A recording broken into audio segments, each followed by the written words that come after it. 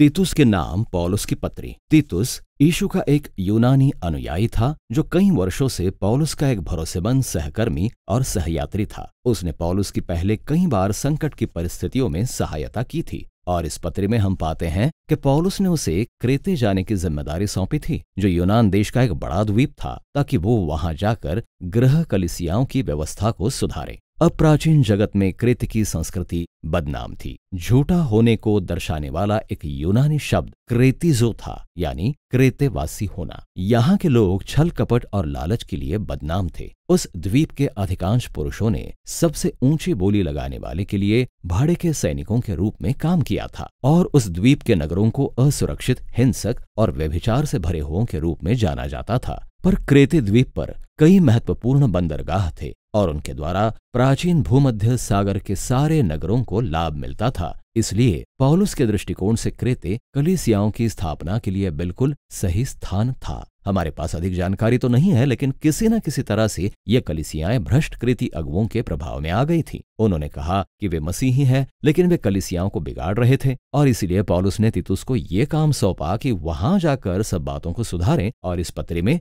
वे निर्देश दिए गए हैं। पत्र की रचना एकदम सीधी और सरल है। संक्षिप्त परिचय देने के बाद पौलुस तीतुस को कलिसिया में उसके कार्यों के विषय में स्पष्ट निर्देश देता है। फिर वो नए प्रकार के घराने के बारे में और उसके बाद नए प्रकार के मनुष्यत्व के बारे में अगुवाई प्रदान करता है, जिसकी रचना सुसमाचार क्रेते के इन समुदायों में कर सकता था। फिर पॉलुस अंत के कुछ अभिवादनों के साथ पत्री को समाप्त करता है। पॉलुस तितुस को यह याद दिलाते हुए शुरू करता है कि एक प्रेरित के रूप में उसका संदेश अनंत जीवन की आशा के विषय में है, जिसका अर्थ है नई सृष्टि का वो जीवन जो इसी समय से यीशु मसीह के द्वारा उपलब्ध है और इस आशा की प्रतिज्ञा बहुत पहले उस परमेश्वर के द्वारा की गई थी जो झूठ नहीं बोलता। अब ये छोटी सी प्रारंभिक टिप्पणी उस महत्वपूर्ण विषय का परिचय देती है जो इस पूरी पत्री में पाया जाता है। क्रेते की कलिसिया की एक समस्या ये थी कि उन्होंने मसीहियों के परमेश्वर यीशु के विषय में अपने विचारों को उन यूनानी देवताओं के साथ मिला दिया था जिन्हें देखते देखते वे बड़े हुए थे।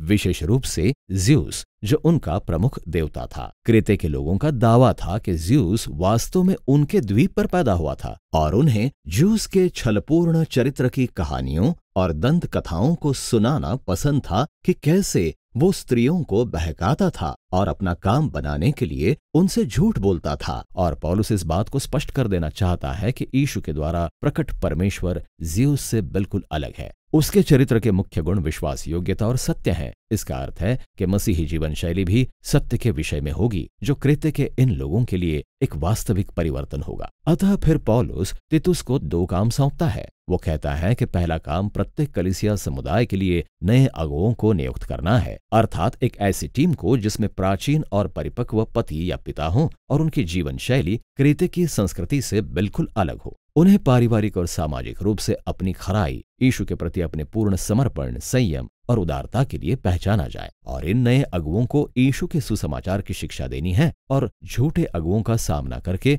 उनका स्थान लेना है। यही तितुस का दूसरा कार्य है। पौलुस शिक्षकों की पहचान खतना वालों के रूप में करता है। दूसरे शब्दों में, वे क्रेते में रहने वाले ऐसे जातिगत यहूदी थे जो ईशु का अनुसरण करने का दावा करते थे। लेकिन गलातियों की समस्या के समान इन लोगों की भी मांग थी कि यदि गैर यहूदी सचमुच यहूदी मसीहा के अनुयायी बनना चाहते हैं तो उन्हें खतना कराना और तोरा के नियमों का पालन करना ज़रूरी है। और उस कहता है कि वे यहूदी कथा कहानियों और मनुष्यों की आज्ञाओं के प्रभाव में है और उससे भी बढ़कर वे सिर्फ़ पैसा कमाने के लिए कलिसिया के अगुए बने हैं। और इसीलिए पॉलुस बड़े बुद्धिमानी से एक प्राचीन कृति कवि एपीमेंडिस को उद्धृत करता है, जो अपने लोगों के चरित्र के बारे में स्पष्ट और ईमानदारी से बताता है। उसने कहा, क्रेती लोग सदा झूठे, दुष्ट, पशु और आलसी पेटू होते हैं। वे सच और झूठ तथा भले और बुरे के अंतर को मिटा देते हैं। वे केवल पैसों के कारण वहाँ हैं और यद्यपि ये अगुवे परमेश्वर को जानने का दावा करते हैं, परंतु उनका कृति जीवन उसका इनकार करता है। उनका सामना किए जाने की ज़रूरत है और ये पॉलिस को अगले खंड की ओर ले जाता है। इन झूठे अगुओं के कारण, इन कलिसियाओं के कई मसीहियों के परिवार और व्यक्तिगत जीवन पूरी तरह से बर्बाद हो चुके थे और पौलुस तीन अलग अलग बार इसके दुष्परिणाम के बारे में बताता है। ईशु के संदेश की निंदा हो रही है और उनके गैर मसीही पड़ोसियों को अब दोष लगाने का अच्छा मौका मिल गया है और इन सब बातों के कारण हमारे उद्धारकर्ता परमेश्वर की शिक्षाएँ नीरस हो जाती हैं और किसी को आकर्षित नहीं करती। इसीलिए पौलुस क्रेते के एक आदर्श घराने को चित्रित करता है, जो ईशु के प्रति समर्पित है। इसमें ऐसे बूढ़े स्त्री पुरुष होंगे जो खराई और संयम से भरे होंगे, ताकि वे युवाओं के लिए एक अच्छे चरित्र का उदाहरण बन सकें। और जवान स्त्रियों को इधर उधर सोते रहकर विवाह की उपेक्षा नहीं करनी चाहिए, जैसा उस समय क्रेते में चलन था। इसके बजाय उन्हें विश्वास योग्य जीवन साथी को खोजना चाहिए, ताकि वे एक स्थिर और मज़बूत परिवार की रचना कर सके। और जवान पुरुषों को भी यही करना है, उनकी पहचान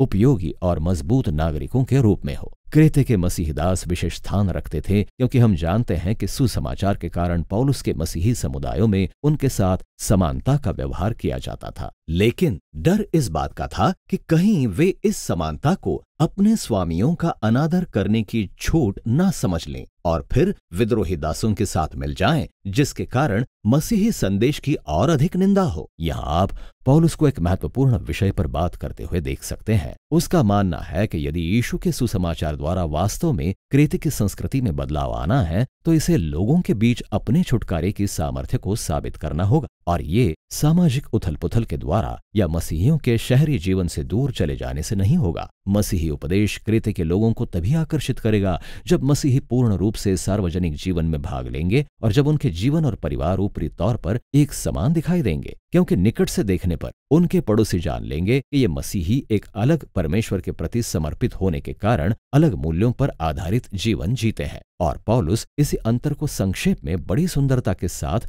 अध्याय दो के अंत में दर्शाता है। वो कहता है कि मसीही जीवन शैली को प्रेरित करने वाला मूल्य परमेश्वर का उदार अनुग्रह है। जो ईशु के व्यक्तित्व में प्रकट हुआ और उसके पुनरागमन पर फिर से प्रकट होगा। ये अनुग्रह तब प्रकट हुआ जब यीशु ने अपने सम्मान की चिंता न करते हुए अपने शत्रुओं के बदले एक लज्जाजनक मृत्यु सही, ताकि वो उन्हें बचाकर उनका उद्धार कर सकें। और ये वही अनुग्रह है जो परमेश्वर के लोगों को भ्रष्ट जीवन शैली का इनकार करने की बुलाहट देता है, जो परमेश्वर के उदार प्रेम के विपरीत है। फिर पौलुस मसीही घराने के विषय से बाहर आकर क्रेते के समाज में नए मनुष्यों के समान मसीही जीवन जीने के दर्शन की बात करता है। सब लोगों में से मसीहियों को आदर्श नागरिकों शांतिप्रिय, उदार, अधिकारियों के प्रति आज्ञाकारी, सबकी भलाई चाहने वाले लोगों के रूप में पहचाना जाना चाहिए। लेकिन ये उससे बिल्कुल अलग है, जिस तरह से क्रेते के लोगों का पालन पोषण हुआ था। मसीहियों को संस्कृति से विपरीत इस जीवन शैली को कैसे बनाए रखना है? और पॉलुस का मानना है कि इस सामर्थ का स्रोत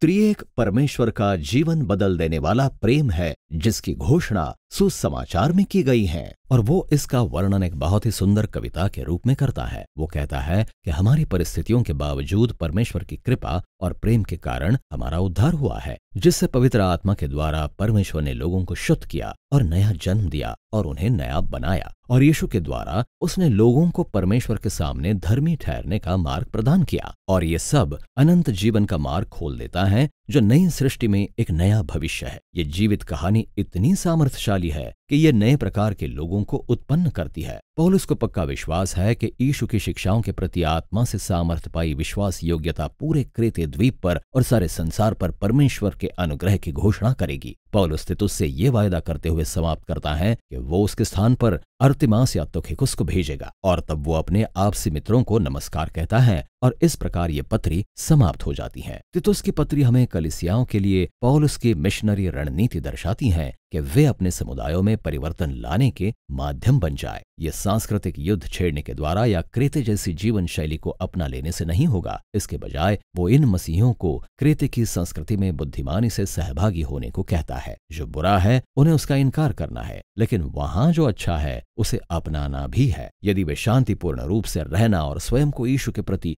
तथा सबकी भलाई के प्रति समर्पित करना सीख लें तो पौलुस के शब्दों में मसीही लोग अपने उद्धारकर्ता परमेश्वर के उपदेश की सुंदरता को दिखा पाएँगे और तितुस की पत्री इसी विषय में है।